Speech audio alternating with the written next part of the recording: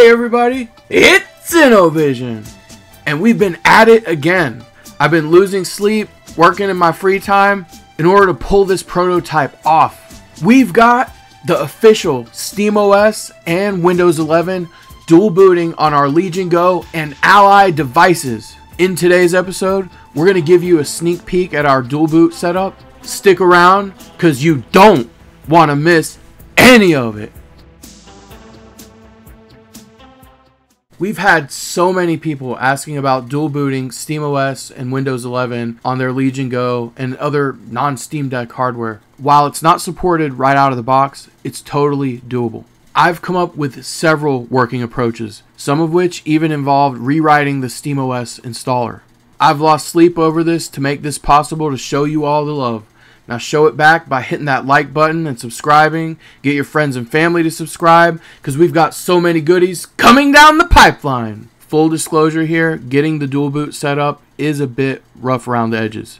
I've come up with several working approaches, and what I'm trying to do right now is distill it down into the simplest one that will have the least amount of issues while you're working through it. Note that setting up the dual boot is not for beginners. I'd consider it as something that's slightly more advanced, but the aim for our video when we do show you how to do it is to put together something that anyone can follow. And it's going to be very important that you follow all the steps and understand each section. When that video comes out, my recommendation would be to watch it a few times, especially if you're not comfortable you know, with tinkering and you're not comfortable with Linux, take some time to familiarize yourself with the video before you get started. When our video is ready, the steps we will provide will be a universal set of steps.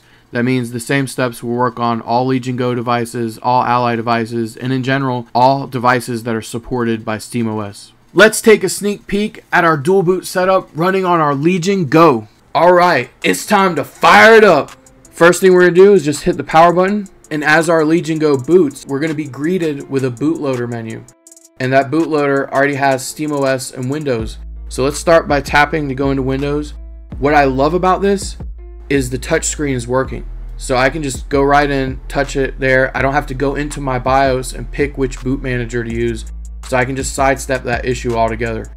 While technically it's possible to dual boot without a custom bootloader, it's just a lot smoother. It makes for a better user experience if we have one like we have here.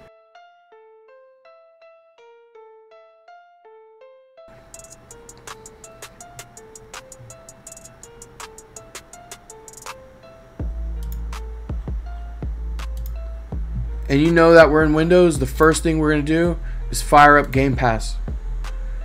Game Pass is like the crown jewel of Windows right now.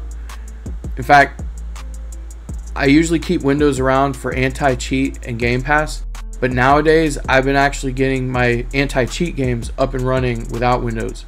I'm going to show you folks videos on that in the future. But what I love is being able to play Game Pass still. So here we are. And you know we're going to play Little Kitty Big City because it's about a black cat. And you know we at InnoVision Games love black cats.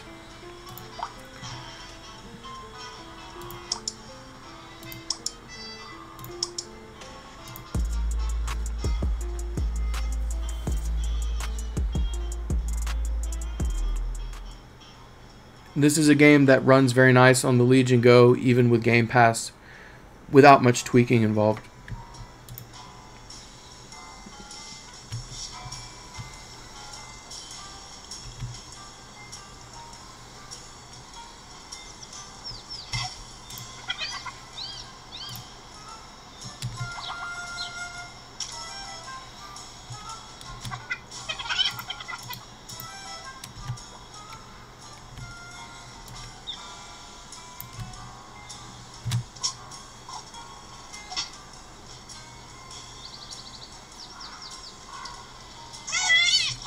you know, it's funny this stereotype of cats not liking water. Our cat loves to play in the water.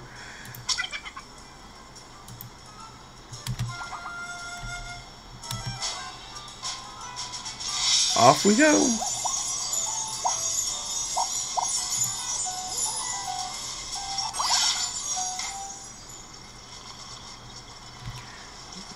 Love that nod to the Super Mario Brothers warp pipes here. So you can clearly see that we're able to run Windows just fine. So now let's get into SteamOS. We're just going to shut down and turn the turn the Legion Go back on. And when we turn it back on, we're going to select SteamOS at our bootloader menu.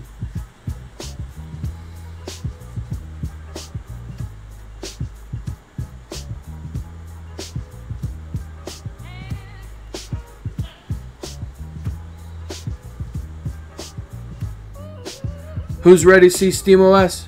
I know I am. Hit that power button.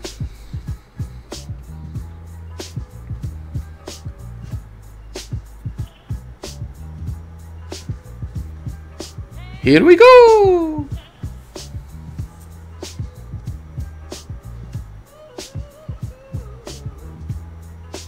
SteamOS does take a little while to boot up, but it's gotten a lot better since the beta. There's still a little bit more work to do, but I'm excited to see how it develops.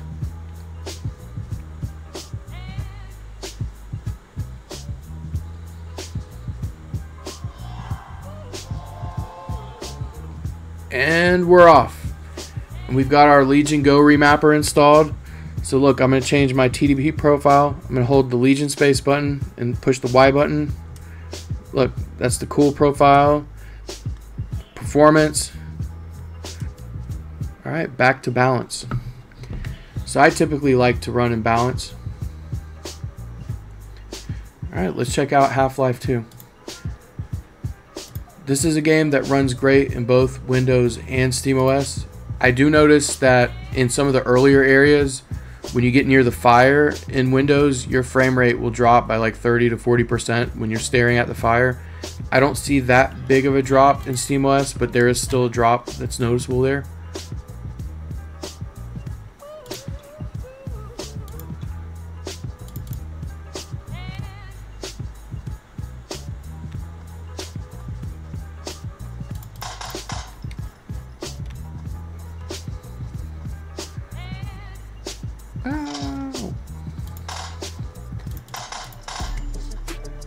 There's nobody around here. It's perfect for a demo. I don't have to worry about getting fired at while I'm talking to everybody. But this is flipping awesome. I'm so excited about this. I can't wait to share with everyone the final product. We just got a little bit more to do.